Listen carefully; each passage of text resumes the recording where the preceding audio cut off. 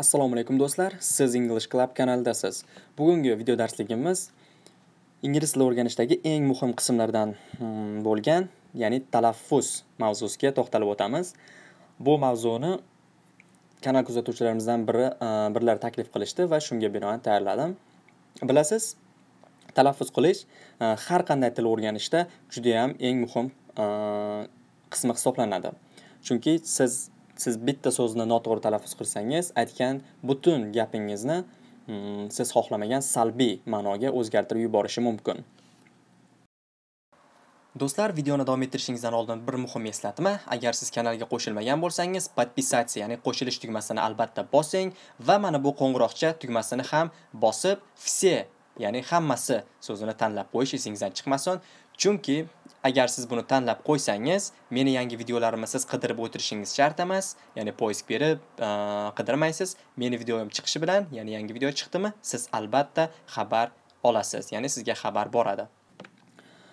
Ho'p bugun bugun bu videoni ko'rib tugatganingizdan keyin mana shu videoni to'liq ko'rib chiqsangiz siz ikkita muhim narsa o'rganib olasiz. Birinchisi Hmm, ingliz tili unli harflarni talaffuzini demak oldingiga nisbatan ishonch bilan va to'g'ri talaffuz qila olasiz. Albatta buni buning uchun siz e, videoni yaxshilab ko'rishingiz kerak va e, yaxshilab mashq qilishingiz kerak boshqa so'zlarda ham. Ikkinchisi hmm, lug'atni o'zidan yangi so'zlarni to'g'ri talaffuz qilishni e, o'rganib olasiz. Ya'ni siz qayerdadir yangi so'z uchratib qoldingiz va uni o'sha so'z yangi so'z chiqqanda siz videoni e, o'sha so'zni hmm, talaffuzini ham birdan o'rganib ketishingiz mumkin. Bu juda ham oson faqat ozgina e, diqqat bilan e'tibor bering va ba'zi bir narsalarni eslab qolish kerak. Ho'p ingliz tilida oltita unli harflar bor. A e i o u keyin y. bu yerda y ham unli ham undosh harf bo'lishi mumkin unli bo'lib ham undosh ham bo'lib ham keladi misol uchun my mana shu joyda unli bo'lib kelyapti albatta buni inglizlarni ingliz tili grammatikasi jihatdan qaraganda biz o'zbek tilida misol uchun aytaylik o'zbek o'zbek tili grammatikasi jihatdan qaraganingizda undosh deb hisoblashingiz mumkin lekin inglizlar buni unli deb bu holatda unli deb hisoblaydi. O'sha my yoki jim. Hop, odatda buni e, y ni qachon unli deb hisoblanadi? Qachonki e, mana shu y gapda yagona e, gapda boshqa unli harf bo'lmasa, mana shu y kelsa, odatda shuni mm, y ni unli deb hisoblanadi. Boshqa holatlarda undosh bo'lib keladi. Bu demak odatda shunaqa bo'ladi.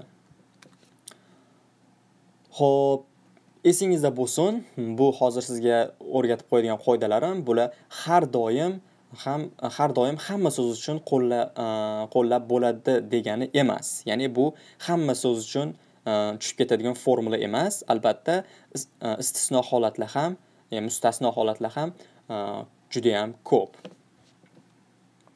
Ho'p qani birinchi birinchi birinchi qoidaga o'tishimizdan oldin quyidagi so'zlarni mana shu ekraningizda ko'rib turgan so'zlarni Э, talaffuz qilishga harakat qilib ko'ring. Э, hozir siz э, to'g'ri talaffuz qilasizmi yoki noto'g'rimi muhim emas lekin albatta talaffuz qilib ko'ring. Ozginaga men to'xtayman siz yaxshilab talaffuz qilishga harakat qiling. Ho'p bu so'z e, bu so'zlarni talaffuz qilib bo'lgan bo'lsangiz demak buni siz nimaga talaffuz qilish qilishingizni so'raganim sabab hozir Э, qoida bir qoida o'rgatib qo'yaman va mana shunda siz xato qilgan joyingizni e, bilib olasiz va bundan keyin xato qilmaysiz. Chunki xato qilgandan e, qayerdadir xato qilsangiz keyin uni to'g'irlab ket o'zingiz xatoyingizni topsangiz e, mana shu xatoyingizni o'rganib olsangiz keyin o'sha xatoni takrorlamaslikka harakat qilasiz. Bu esingizda qolib ketadi. Shuning uchun siz o'zingiz talaffuz qilib ko'ring dedim. Ho'p qoidaga e'tibor beramiz birinchi. Odatda so'zda ikkita unli harf kelganda birinchi unli harf alifbodagidek talaffuz qilinadi yoki alfavitdagidek talaffuz qilinadi. Ikkinchisi esa talaffuz qilinmaydi. E'tibor bering demak odatda so'zda ikkita unli harf kelsa hmm, birinchi unli harf alfavitdagidek talaffuz qilinadi. Ikkinchisi esa talaffuz qilinmaydi. Mana endi so'zlarni e, o'qib ko'ramiz. Birinchisi bake. Bake. Ko'ryapsiz. Birinchisini talaffuz qilyapman. A a talaffuz qildim lekin oxirgi e, unli harf talaffuz qilinmayapti. Bake yoki these these. Bilsangiz ho'p ingliz tili e, alfavitida mana bu e ni i deb talaffuz qilinadi. I demak these. Oxirgisi talaffuz qilinmayapti. Dream dream. Yana birinchi talaffuz qilinyapti birinchi unli ikkinchi unli talaffuz qilinmayapti. Dream yoki fame fame. Yana birinchi talaffuz qilinyapti. Alfavitda a deb o'qiladi buni. Demak fame oxirgisi talaffuz qilinmayapti.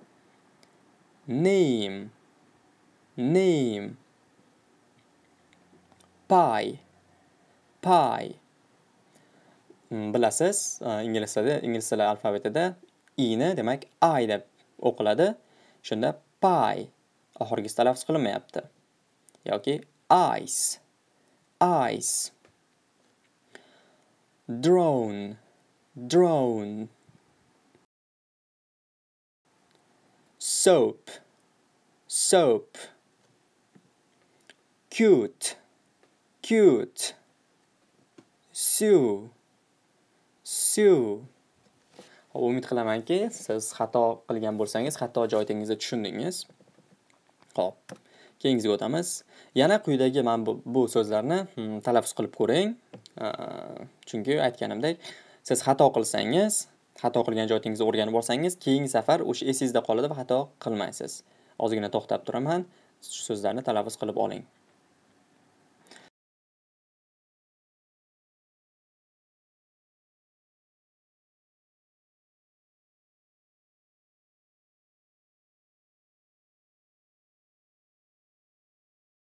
Xo'p. Umid qilamanki, talaffuz qilib bo'ldingiz. Xo'p, qoidalarga o'tamiz. Odatda so'zda bitta unli harf kelganda, unli harf qisqa talaffuz qilinadi. Demak, aytyapti, odatda so'zda bitta unli harf kelganda, unli harf qisqa talaffuz qilinadi. E'tibor bering endi. had had ko'ryapsiz hey deb aytilmayapti. Chunki qoidada aytilyaptiki bitta kelsa unli harf bitta bo'lsa mana gapda bitta unli harf turibdi e, unli harf qisqa talaffuz qilinadi. Had. Jam. Jam bo'lmaydi. Jam bo'ladi qisqacha. Jam. Yoki bad. Bad. Yoki band. Band. Him. Him. Pin. Pin. Hot. Hot. Spot. Spot. Bus. Bus. Some. Some. Sun. Sun Xo'p, demak mana shu hozir ikkita qoidani ikkita qoidaga qarab ko'rdik va bundan xulosa qilishimiz mumkinki, hmm, demak unli harflarni hmm, ikki xil talaffuz qilinadi. Qisqa va uzun. Short, long. Short qisqa, long uzun degani. Birinchisi A, ya'ni o'zbek tilida A harfi, ingliz tilida A bo'ladi. A a ni ikki xil talaffuz qilish mumkin ekan. A yoki a. Misol uchun mat yoki mat short bo'lyapti qisqa. Hmm, uzun holatda mate mate e'tibor bering a mate. Endi i i harfi. E bo'lishi mumkin. E o'zini aytish g'alati bo'ladi. E yoki i. i. Pat. Pat qisqa bo'lyapti. pit pit uzuni. pit hmm, i harfi. I harfi ham hmm, qisqa va uzun talaffuz qilinishi mumkin. Hmm, i oddiy i yoki i. Twin. Twin. Uzun holatda. Twine. Twine. O harfi o. Demak o bo'lishi mumkin. Oddiy o qisqacha o. Uzun holatda o bo'ladi. O. Qisqa holatda not not. Uzun holatda note note. U harfi endi. U harfi a yoki u deb talaffuz qilinadi. Qisqa a bo'ladi yoki u. cub cub yoki cube cube uzun holati Xo'p, endi ba'zi bir hol, yana boshqa mm, ko'p uchrab turadigan holatlar bor, qoidalar. Э, demak, mana shunga o'xshash mm, so'zlar kelganda siz hozir men tushuntirib o'taman, xuddi shunday qilib o'qishingiz mumkin. Birinchisi, э, o bilan u birga kelganda, o, u birga kelganda odatda e, au o'qiladi, au. Misol uchun mouth, mouth yoki house house yoki about about. Demak o uzr qaytamiz orqaga. Ko'payib ketdi. Xo'p, o bilan u kelganda au bo'lyapti. mouse, house, about. Ikkinchisi. Hmm. Odatda you are, you are n bilan tugaganda hmm, e'tibor bering qanaqa talaffuz qilinadi. Burn, burn yoki turn, turn yoki spurn, spurn.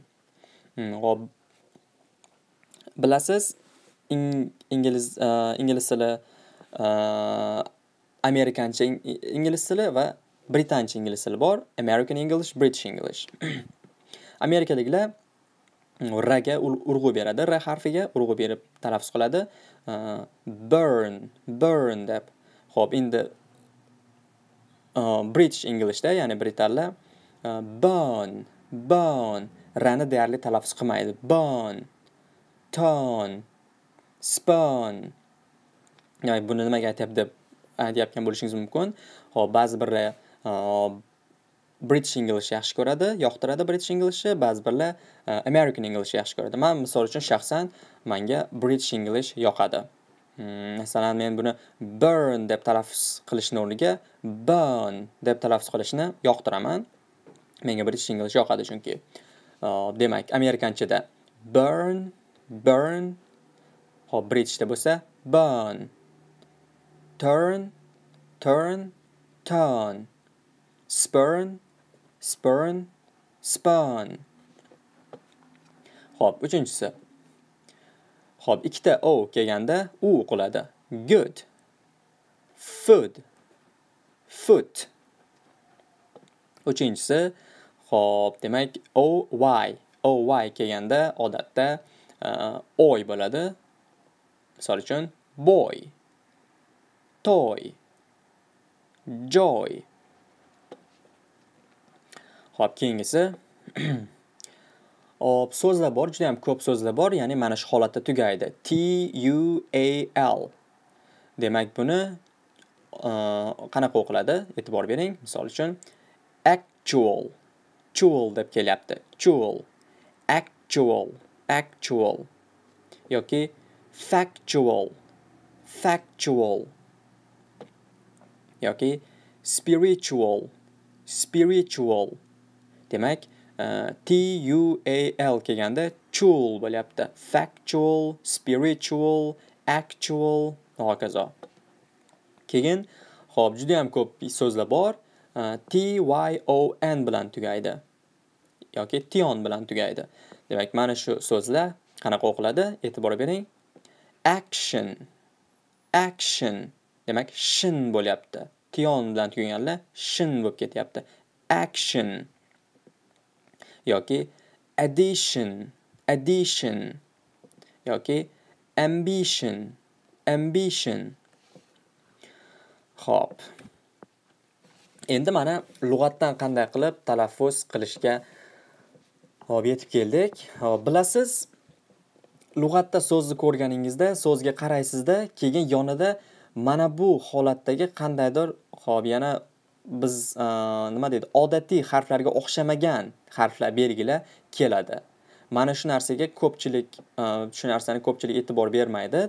So'zni qarashadida, masalan, shu til o'rganuvchilar so'zga qarashadida, tavakkal talaffuzini o'zlaricha talaffuz qilib ketishadi, keyin ma'nosini o'rganib olishadi.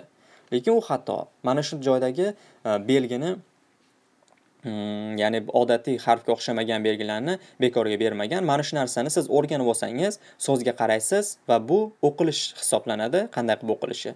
Shunga qaraysizda, siz o'qilishni o'rganib ketishingiz mumkin. Demak, buni qanday qilib qilinadi? Xuddi shu belgilarni siz lug'atingizda ko'radigan, uchratadigan belgilarni, hop, IPA symbols deydi. Ya'ni International Phonetic Alphabet deydi. demak qanaqa deb atalishi muhim emas muhim e, xullas mana bularni muhimi o'rganib olishingiz kerak. Hmm, i bor. I mana hop bular belgilar mana katta bilan berganlar belgilar. Siz e, o'sha lug'atingizda so'zdan keyin odatda ikkita chizig'i o'rtasiga qo'yib ikkita chiziq yoki qavs ichiga qo'yib qo'ygan bo'ladi. Mana shu belgilarni qo'ygan bo'ladi. Misol uchun i qanaqa o'qiladi? Misol uchun so'z uh, read read bergan bo'ladida read mana e bilan a ni o'rniga xullas u yoqda i ni bergan bo'lishi mumkin. Hmm, mana mana bu e, uh, simbol bergan bo'ladi. Siz shunda read deb o'qiysiz. Mana biz mana bu uh, belgi simbol yoki ingliz tilida belgi i cho'zibroq aytiladi. Ikki nuqtasi bo'lmasa demak bu belgini o'zi kelsa qisqa i bo'ladi. Sit. Read sit. Bu bu belgichi.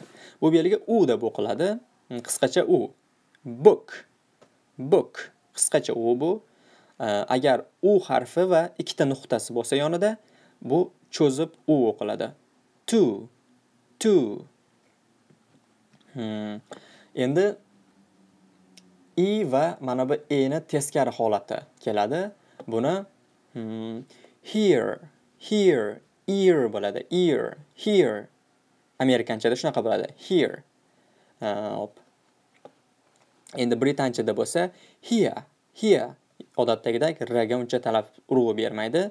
Amerikanchada here, here deb rga urg'u bersa, demak British Englishda here, here.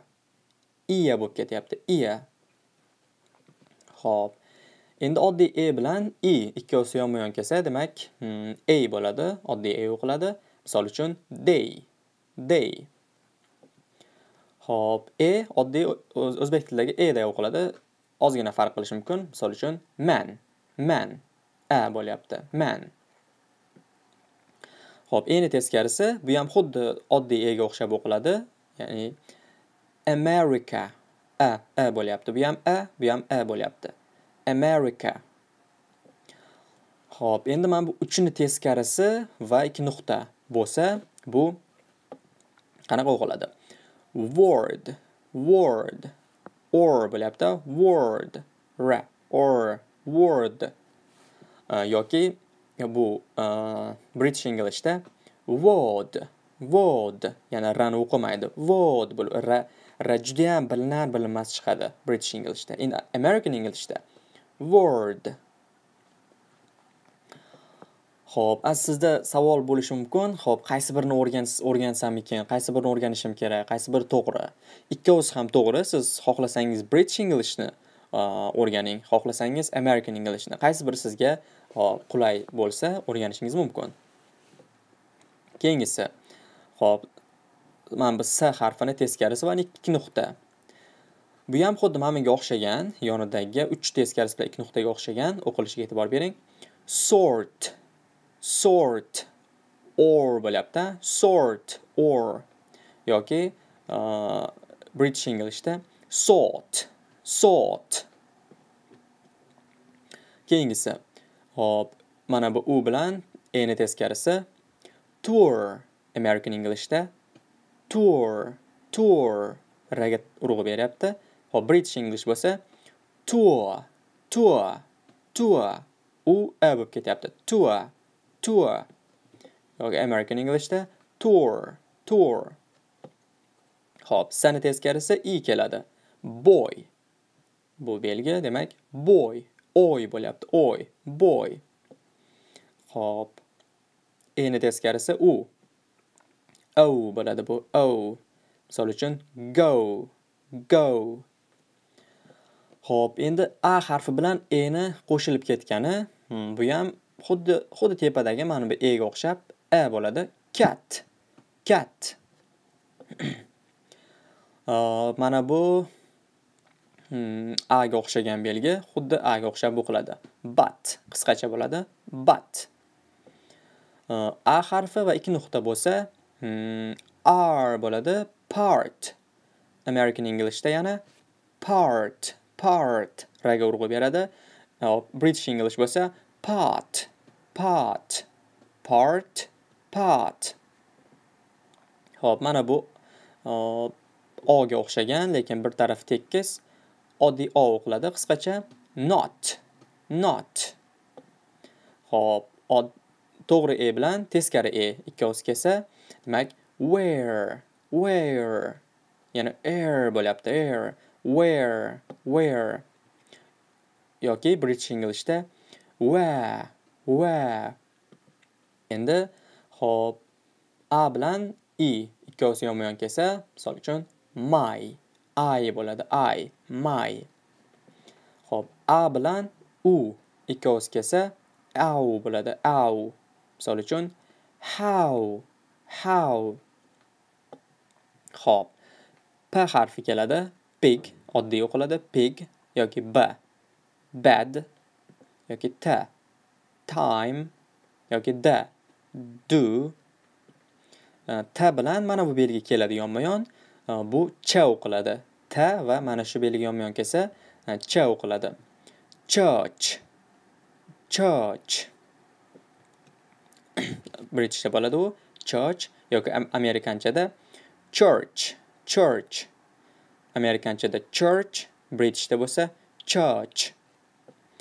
Xo'p, mana bu d bilan mana bu z ga o'xshagan yoki uchga o'xshagan belgi j o'qiladi. Misol uchun judge. judge. Xo'p, k oddiy o'qiladi. Kilo yoki g, go. f bo'lsa five va very. Xo'p, mana bu belgi e, nol yoki o o'rtasida chizig'i bo'ladi. Bu fa o'qiladi. Fa, fa. Tishing yuqori tishingizga e, tilingizni uchini tekizib talaffuz qilasiz. Fa. tilingiz ozgina tilingiz uchi ozgina og'zingiz e, bu yoqqa chiqqan bo'ladi ya'ni yuqori tishingizga tekizib fa deb chiqarasiz fa think think think endi bu. Hop mana bu to'qqizi yoki oltini teskarisi va yuqorisida bitta chizig'i bo'ladi. Bu xuddi mana bu saga o'xshagan bo'ladi lekin bu va qilib o'qiysiz. Tilingizni demak holati turishi o'sha mana bunga o'xshagan bo'ladi. Thinkdagiga o'xshab lekin bu ozgina z qo'shasiz bunga. Misol uchun va va bunisi fa fa bu va va think va hop sa six six hop oddiy mana bu oddiy za zu bo'ladi o'zbek tilidagi o'xshagan zu. Hop, mana bu belgi hop sh deb o'qiladi. Sh o'zi kelsa bu belgi. Short, short. Lekin esingizda bo'lsin, mana bu joyda t bilan xuddi shu belgi kelsa, ch o'qiladi. Ch. Lekin bu belgi o'zi kelsa, sh o'qiladi. Short. Amerikanchada short bo'ladi, Britishda bo'lsa short, short. Mana bu uch uch yoki z ga o'xshagan belgi. hop rus tilidagi j ga o'xshagan, j ga o'xshab talaffuz qilinadi. Casual, casual. hop ma, milk, na, no. hop mana bu naga o'xshagan lekin pastida ozgina qiyshiq Э, chizig'i bor o'zbek tilidagi naga harfiga o'xshaydi. Ya'ni misol uchun tong yoki bong deb oxiri tugashtiryapti tugashiga e'tibor beryapsizmi? Tong bong xuddi ana shundagi ngaga o'xshab o'qiladi. Э, sing sing. Ho'p ha oddiy.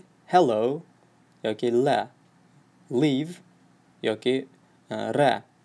Read read oddiy r o'qiladi yoki w v o'qiladi va window window ho'p mana bu j bo'lsa y o'qiladi yes yes Xo'p, mana do'stlar, hmm, bugungi video darsligimiz mana shunday iborat edi. manimcha ozgina cho'zilib ham ketdi. Siz e, hozir mana shularni e, yaxshilab ko'rib chiqing, qaytaring e, va o'sha telefoningizdagi lug'at, programma lug'at bo'ladimi yoki kitob lug'atmi, qaysi biri bo'lsa ham oching, har e, xohlagan so'zingizga qarab, xuddi yonidagi mana shunaqa belgilar berilgan bo'lsa, shularni o'qib ho'p e, ko'p marta takrorlang, mashq qiling. E, ozgina bir hafta, bir hafta, 10 kun yaxshilab buni mashq qilib qilib yursangiz, sizga oddiy, xuddi nima deydi, o'zbek tilidagi so'zlarni o'qiganda bular hammasi esingizda qoladi va oddiy o'qib keta olasiz. Muhimi siz mashq qiling, bularni eslab qolishga harakat qiling. Do'stlar, agar sizda ham savollar bo'lsa, ya'ni xuddi shunga o'xshagan qanaqadir sizni qiziqtirgan savollar yoki qanaqadir sizni qiynayotgan joylari bo'lsa kommentni yozib qoldiring va men sizni o'sha bergan savolingiz yoki taklifingizga qarab video ishlab chiqarishga harakat qilaman.